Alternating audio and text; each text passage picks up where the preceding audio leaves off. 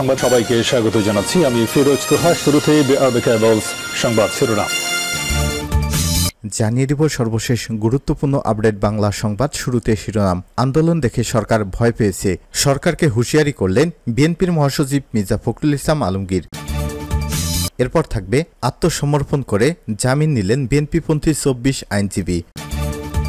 এবারে জানিয়ে দিব বাজার নিয়ন্ত্রণে ব্যর্থতায় সরকারকে জবাব দিতে হবে বললেন জি এম কাদের এদিকে সংসদে জ্বালানি প্রতিমন্ত্রী এক লক্ষ কোটি টাকার বেশি ক্যাপাসিটি চার্জ পরিশোধ করেছে তথ্যমন্ত্রী হাসান মাহমুদ বললেন নির্বাচনের মাঠে সবার সঙ্গে খেলে জিততে চাই বিএনপি চায় পালাতে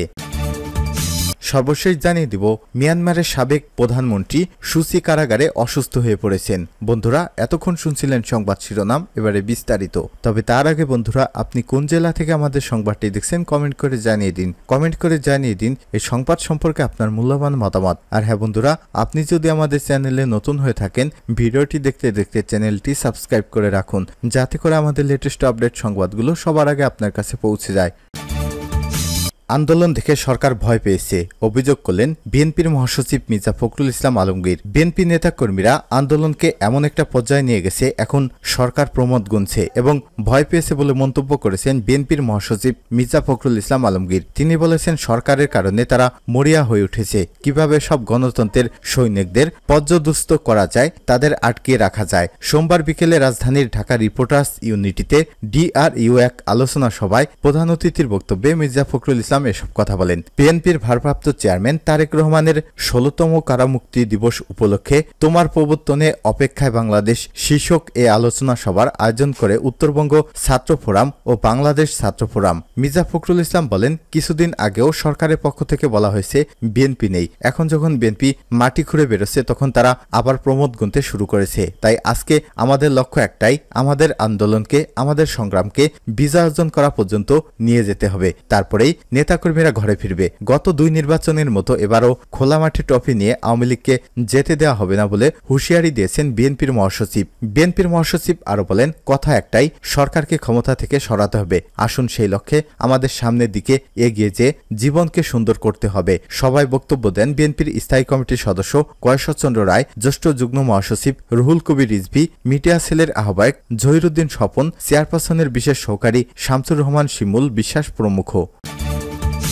আত্মসমর্পণ করে জামিন নিলেন বিএনপিপন্থী চব্বিশ আইনজীবী সুপ্রিম কোর্ট বার অ্যাসোসিয়েশনের ইফতার মাহফিলে হামলা ভাঙচুরের ঘটনায় সাবাক থানার করা মামলায় বিএনপিপন্থী চব্বিশ আইনজীবীর জামিন মঞ্জুর করেছে আদালত আজ মঙ্গলবার পাঁচই সেপ্টেম্বর ঢাকা মহানগর দায়রা জজ আদালতের ভারপ্রাপ্ত বিচারক আতিক বিন কাদেরের আদালতে তারা আত্মসমর্পণ করে জামিনের আবেদন করেন শুনানি শেষে আদালতে তাদের জামিন মঞ্জুর করা হয় জামিন পাওয়ার পর আসামিরা হলেন barrister Uddin Khokon barrister barrister Ruhul Kuddus barrister Kaiser Kamal advocate Kamrul Islam সহ বিএনপিপন্থী অন্যান্য আইনজীবীরা সংশ্লিষ্ট আদালতে অতিরিক্ত পাবলিক প্রসিকিউটর তাপস কুমার পাল এসব তথ্য জানান গত নয় April barrister Mahbubuddin Khokon barrister Ruhul Kuddus Kajal সহ চব্বিশ জনের নামে শাহবাগ থানায় মামলাটি করেন সুপ্রিম কোর্ট আইনজীবী সমিতির প্রশাসনিক কর্মকর্তা রবিউল হাসান পরদিন দশই এপ্রিল বিচারপতি মোহাম্মদ ইকবাল কবির ও বিচারপতি এ কেম রবিউল হাসানের সমন্বয়ে গঠিত হাইকোর্ট বেঞ্চ বেঞ্চ তাদের বারো সপ্তাহের আগাম জামিন দেন হাইকোর্টের জামিনের মেয়াদ শেষ হয়ে যায় মঙ্গলবারে বিচারিক আদালতে আত্মসমর্পণ করে তারা জামিনের আবেদন করলে আজ বেলা এগারোটার দিকে তাদের জামিন মঞ্জুর করে আদালত মামলার অভিযোগে বলা হয়েছে গত ছয় এপ্রিল আসামিরা বিএনপির ভারপ্রাপ্ত চেয়ারম্যান তারেক রহমান এবং জামাতের নামে স্লোগান দিয়ে হঠাৎ মিছিল করেন তারা প্রথমে আইনজীবী সমিতি দুই নম্বর হলরুমে পরে এক নম্বর হলরুমে প্রবেশ করে ইফতার অনুষ্ঠানে প্রধান বিচারপতির নাম সম্বলিত সব ব্যানার বিছানা ছিঁড়ে ফেলেন আইনজীবী সদস্যদের জন্য সংরক্ষিত আসনের চেয়ার টেবিল ভেঙে এবং কাপড় উপড়ে ফেলে সমিতি ভবনে অরাজকতা অবস্থা সৃষ্টি করে এ সময় বাধা দিলে আসামিরা সমিতির সদস্য advocate Rafiqul Islam advocate Pannu Khan advocate Mohammad Shahneya সহ অন্যান্য আইনজীবীদের ধাক্কা দিয়ে ফেলে দিয়ে আহত করেন এজেহারে আরও বলা হয় সাধারণ আইনজীবীরা ওই ইফতার অনুষ্ঠানে অংশ নিলে তাদের প্রাণনাশের হুমকি দিয়ে আসামিরা ঘটনাস্থল ত্যাগ করেন পরে আপিল বিভাগের অবসরপ্রাপ্ত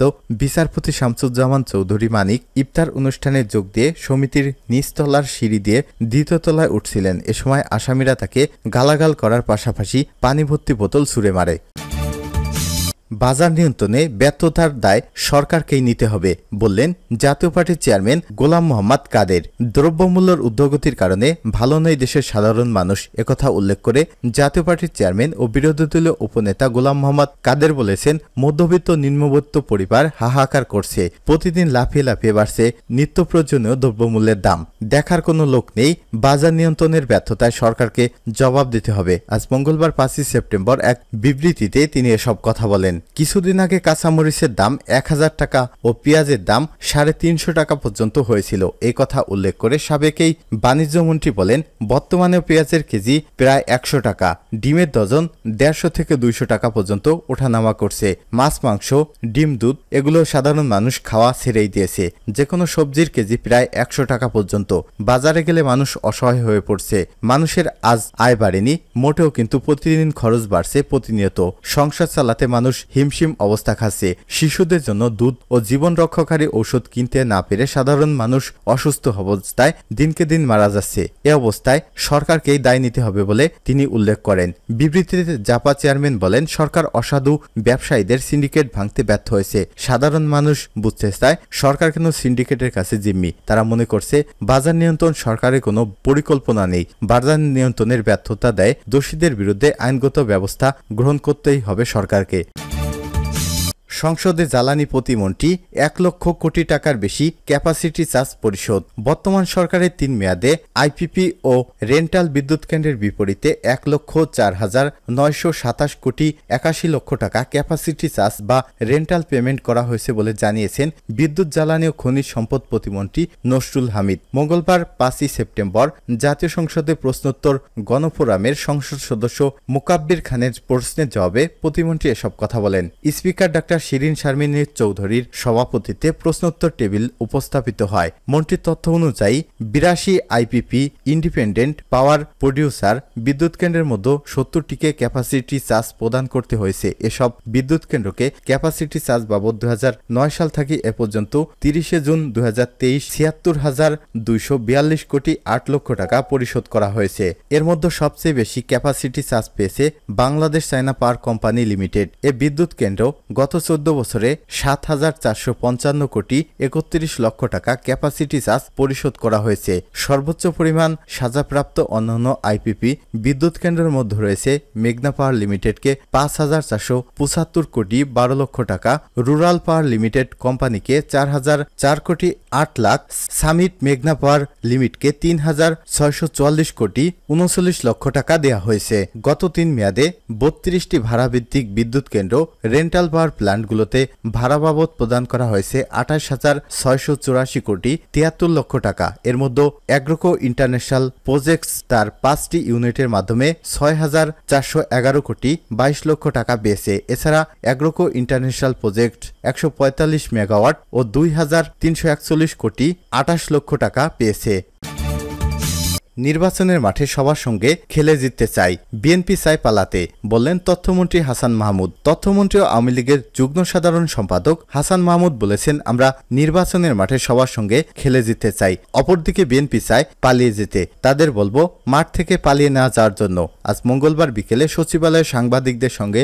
বিনিময়কালে এসব কথা বলেন সম্প্রচার মন্ত্রী তিনি বলেন নির্বাচনে ফখরুল সাহেব গতদিন বলেছেন আওয়ামী লীগ ফাঁকা মাঠে গোল দিতে চায় প্রকৃতপক্ষে আমরা কখনো ফাঁকা মাঠে গোল দিতে চাই না আমরা চাই আগামী নির্বাচনে বিএনপি পূর্ণ শক্তি দিয়ে অংশগ্রহণ করুক কিন্তু বিএনপির কথাবার্তায় মনে হচ্ছে যে নির্বাচনে হেরে যাওয়ার ভয়ে তারা মাঠ ছেড়েই চলে যেতে চাচ্ছে মির্জা ফখরুল ইসলাম সাহেবকে বলব মাঠে আসার জন্য এবং আমাদের সঙ্গে খেলা করার জন্য তাহলে দেখা যাবে কারা জিততে পারে জনগণ যাকে চাবে তারাই এদেশের সরকার প্রধান থাকবে হাসান মাহমুদ আরো বলেন আজকে জননেত্রী শেখ হাসিনার নেতৃত্বে দেশের অমূল্য পরিবর্তন ঘটেছে প্রতিটি শহর ও গ্রামে মানুষের ভাগ্যের পরিবর্তন হয়েছে মানুষের মুখে আগে ডাল ভাতের পরিবর্তে এখন মাংসের চাহিদা পূরণ হচ্ছে সেটি নিয়ে কথা শোনা যায় আগে মানুষ ইট বিছানায় নিচে দিয়ে ঘুমিয়ে থাকতো এখন মানুষ ইটের ঘরে ঘুমায় এখন মানুষ ভাত কাপড়ে কথা বলে না নিরবচ্ছিন্ন বিদ্যুতের কথা বলে সরকার বিএনপিকে নির্বাচনে আনার জন্য সংলাপের ডাক দেবে কিনা এমন প্রশ্নের জবাবে তথ্যমন্ত্রী বলেন